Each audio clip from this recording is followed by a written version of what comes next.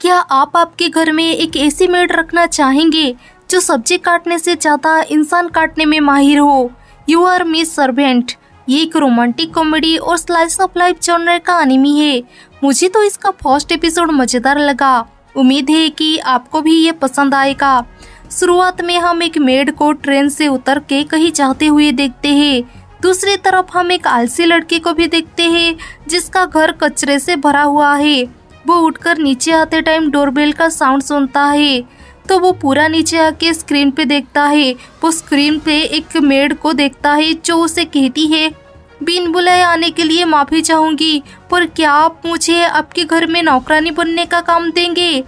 वो लड़का मन में कहता है, अचानक एक दिन मेरे घर एक मेड काम मांगने आई। लड़के का नाम हितोइसी योकोया है। फ़िलहाल वो उस मेड को उसके घर के अंदर आने देता है और कहता है आई एम सॉरी मेरे पेरेंट्स यहाँ नहीं है तो ये जगह एक कूड़ादान बन चुका है। ओह, क्या तुम कुछ पीना पसंद करोगी? फ्रिज के पास आकर वो सोचता है, मैंने बिना कुछ सोचे ही उसे अंदर आने दिया, पर क्या वो यहाँ सच में काम ढूँढने आई है? वो मुझे स्कैम करने या चीज़ें बेचने की कोशिश तो नहीं करेगी ना? शायद मुझे उसे कुछ सवाल पूछ के बाहर भेज देना चाहिए। वो उसे पूछता है, तुम एक नौकरानी हो तो पहले तुम जिस जगह पे काम करती थी मेनली तुम वहाँ किस तरह के काम करती थी? वो मेड कहती है, उन धोखेबाजों का हत्या करती थी, जो मेरे मास्टर के खिलाफ होते थे। मेरे मास्टर ने ही मुझे इस जगह पर भेजा है। ही तो इसी कहता है, ये एक जोक था ना? वो मेड ऐसा एक्सप्रेशन देती है जैसे उसे पता भी नहीं कि जोक क्या होता है। ही तो इसे डर जाता है और मन में कहता है इसे तो जल्दी घर से बाहर भेज देना चाहिए। वो उसे पूछता है, तुमने कहा तुम्हारे मास्टर ने तुम्हें यहाँ भेजा है? क्या उनका हमारे परिवार के साथ कुछ कनेक्शन है? वो मेड कहती है, तुम उस औरत का पोता हो जो गरीबों को लूट के अपनी संपत्ति बढ़ाती थी। मेरे मास्टर के कानूनी बेटे के पत्नी के कजिन का दूसरा बेटा। ही तो इसे कहता है, इसका मतलब एक अनजान ही होता है। फिर वो मन में कहता है ओ नो लगता है वो गुस्सा हो गई। मुझे सब्जेक्ट चेंज कर लेना चाहिए। वो उसे कहता है तो हत्या करना। हाँ इसमें तो कई मेथड्स होते हैं।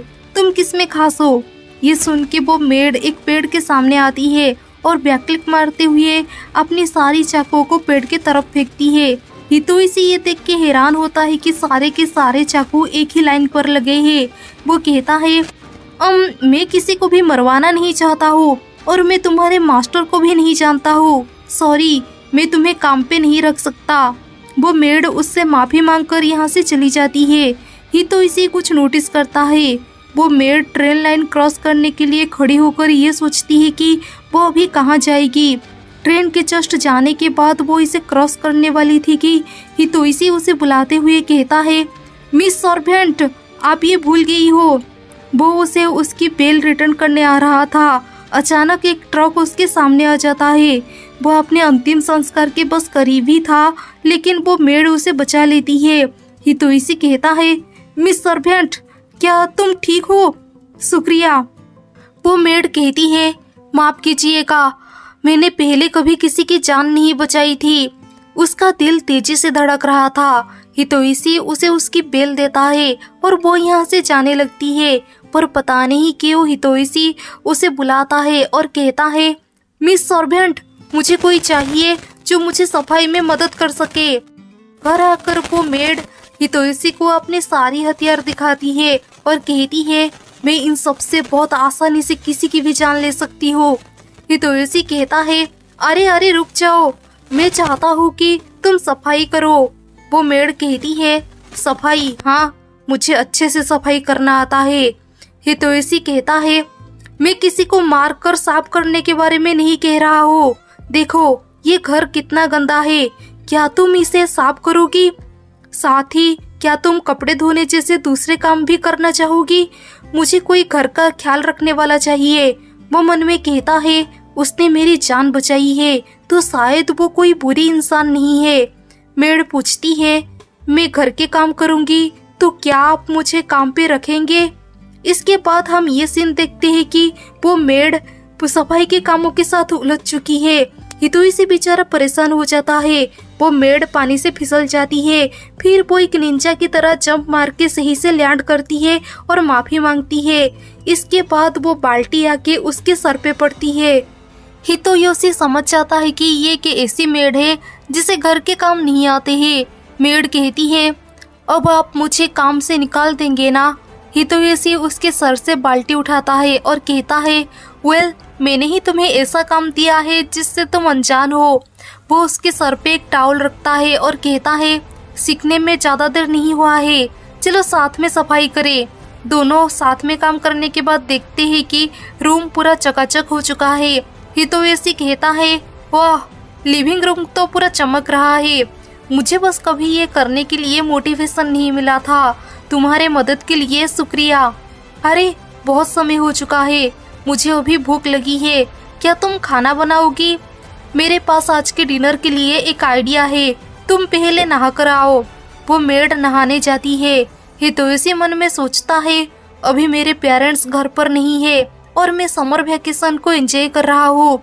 पर अभी मैं हमेशा से ज़्यादा नर्वस फील कर रहा हूँ, क्योंकि एक मेड अचानक आ गई जो असासिन का काम करती है। अभी मैं क्या करूँ? अगर वो केयरलेसली एक टावल पहन के बाहर आएगी तो? पर वो मेड अपनी फुल यूनिफॉर्म के साथ बाहर आती है। ये देखकर हितोसी मन में कहता है, हाय रे मेरी डूबती जवानी मेड सब्ज़ी काटने की तैयारी करती है। हितोयोशी कहता है, खुद को फोर्स मत करो। मेड कहती है चाकू के साथ काम करने में मैं हर किसी से बेटर हूँ। वो उस पत्ता गोभी को उछालती है और एक निंजा की तरह उसे तुरंत काट देती है। हितोयोशी कहता है, हम आज मिसो सूप और तोनकात्सु को साइड डिश के हिसाब से बनाएँगे। क्या तुम्हें पता है तोनकात्सु क्या है? मेड कहती है, मुझे लगता है मैंने ऐसा कुछ खाई थी। क्योंकि मैं टेस्ट के बारे में ज़्यादा सोचती नहीं हूँ तो पता नहीं है। हितोयोशी कहता है तुम ये तोनकासु ट्राई करोगी तो तुम्हारा पूरा दुनिया ही बदल जाएगा। ये साठ साल पहले स्टेब्लिश हुआ था, कात्सुदा साइड डिश स्टोर सुबह सुबह मिस्टर और मिसेस कात्सुदा इन्हें बहुत सावधानी से बनाते हैं। पता चला है कि कई फ़ेमस सेलिब्रिटीज भी इन्हें टेस्ट करने आए थे। ये सब कहने के बाद वो दोनों के लिए इसे सर्व कर लेता है। वो उस मेड से पूछता है, तुम्हारा नाम क्या है मिस सर्वेंट वो मेड कहती है मेरा नाम, मेरा कोई नाम नहीं है। इससे पहले मेरे मालिक मुझे जो बुलाते थे, मेरा वही नाम होता था। आप भी जो चाहे मुझे वो बुलाइए, मास्टर योकोया। हितोयोशी कहता है, ऐसा है तो मैं अभी तुम्हें मिस सर्वेंट ही बुलाऊँगा और बाद में तुम्हारे लिए कोई नाम सोचूँगा। मेड मन में कहती है, अजीब है, इससे पहले मुझे मेरे नाम की कोई परवाह नहीं थी। वो इस तोनकासु को टेस्ट करती है और हितोयोशी से कहती है मुझे टेस्ट के बारे में ज़्यादा पता नहीं है, पर ये सबसे ज़्यादा स्वादिष्ट खाना है। हितोयोशी कहता है अच्छा लगा सुन के ओ, तुम्हारा रूम सेकेंड फ्लोर का लास्ट रूम है। मिस सर्वेंट मैंने वहाँ नए बेडशीट्स और पिलो कवर्स रख दिए हैं। कुछ गलत लगे तो मुझे बताना। मेड अपनी पास्ट की एक बात को याद करती है। उस दिन वो खून से सनी हुई थी। कोई उसे कहता है, तुम पास हो गई। तुम्हारी त्वचा बर्फ़ की तरह सफ़ेद है। और एक दिल जो बहुत कठोर ठंडा है तो आज से तुम्हारा नाम है। ये याद करके वो सोचती है, मैं नहीं चाहती हूँ कि वो मुझे कुछ ऐसा बुलाए जिसका मतलब कठोर ठंड हो। हितोसी उसे तोनकासो उस सॉस के साथ खाने देता है। वो मेड जब इसे सॉस के साथ खाती है, उसे ये सुपर डिलीशियस लगता है। आधी रात को हितोसी रोते हुए उठता है और कहता है बहुत समय बाद मुझे ऐसा सपना फिर से आया है। वो सोचता है, लगता है कुछ कॉप रामेन बच गया होगा तो वो किचन की तरफ़ जाता है। कुछ साउंड सुनने की वजह से वो थम जाता है। उसे लगता है कि वो मेड किसी की हत्या वगैरह कुछ कर रही है। वो झाँक कर देखता है कि उसके चेहरे पे ब्लड जैसा कुछ लगा है, पर वो तो उस सॉस को टेस्ट कर रही है। वो इसके लिए माफ़ी भी मांगती है और कहती है मेरा कल का दिन ऐसा था कि मुझे लगा कि ये मेरा लास्ट दिन है। तो मैं इस सॉस को टेस्ट किए बिना मरना नहीं चाहती थी। ये सुन के हितोसी उसे कुछ खाना देता है। इस बार भी वो सॉस उसे सबसे बढ़िया लगता है। वो पूछती है, मास्टर योकोया क्या आपको कोई बुरा सपना आया था? जब मैं इस सॉस को टेस्ट करने के लिए बेड से उठी, मुझे आपके रूम से चिल्लाने का आवाज़ सुनाई दिया। मुझे लगा कि आपके ऊपर कोई हमला हो रहा है। मेड ने उसे रोते हुए भी देख ली थी, इसीलिए वो शर्मा जाता है। मेड उसे कहती है, मुझे भी एक सपना आया था कि वो सॉस मुझसे बात करना चाहता है, पर उसे टेस्ट करते ही मैं उठ गई। ये सपना अलग था। मुझे अक्सर मरने या मारने के सपने आते हैं। हितोयोशी कहता है, मुझे भी वो डरावने सपने अक्सर आते हैं कि मेरी मॉम मुझसे दूर हो गई है और मुझे कभी उनके गोदी में फिर से सोने का मौका नहीं मिलेगा। ये सुन के मेड कहती है, आप मेरी गोदी में सो सकते हैं। ये तो इसी बहुत शर्मा जाता है और कहता है, मैं अभी एक बच्चा नहीं हूँ।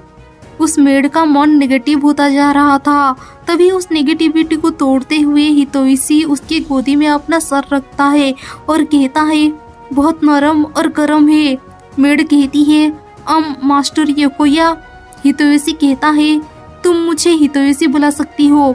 मेड कहती है, ठीक है, क्या अब आप सो सकते हैं, मास्टर हितोयसी हितोयसी कहता है हाँ शुक्रिया। तो ये कहानी है कि कैसे एक अकेली बिचारी नौकरानी को एक परिवार मिला।